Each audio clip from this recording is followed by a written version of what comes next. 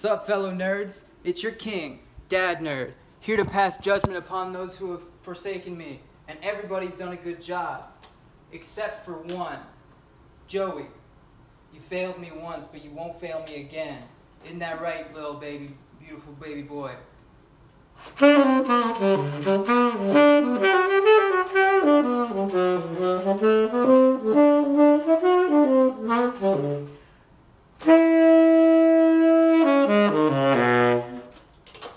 Fix your shit up.